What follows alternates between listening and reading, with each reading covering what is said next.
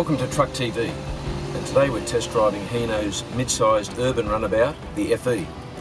We're in a long wheelbase version, which as of this year is now available with a fully automatic Allison 5-speed transmission.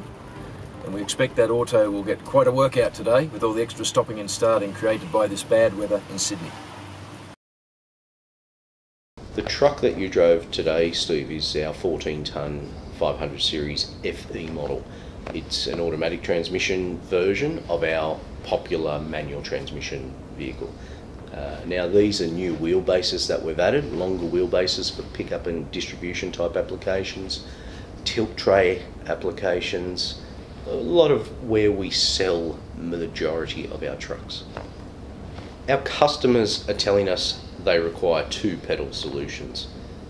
Now, those two pedal solutions may be automatic or AMT, but in this particular model, because of horsepower and torque delivery of this JS7 engine, we've gone with an Allison automatic transmission. Customers and drivers, but especially drivers, are demanding a full auto because they are driving these trucks from 6am to 6pm all day, every day, usually five days a week, 2,000 gear changes a day plus. Now, it's much easier for a driver to jump in the vehicle in the morning, put the vehicle in drive, hands on the wheel, eyes on the road, and drive his vehicle. Much safer proposition and much more relaxing proposition for those drivers.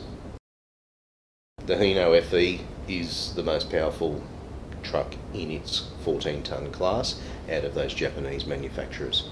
So we have 794 newton meters of torque running through that Allison transmission. Very good combination. We've had a very pleasant few hours in the Hino FE and I've got to say it's terrific to drive. I can hardly uh, say enough good things about it.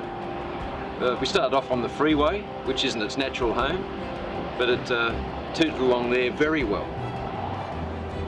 Now Hino says this is the most powerful truck in its class, and it's a 260 horsepower, nearly 800 newton meters unit, and today it was pulling about 13 tons all up.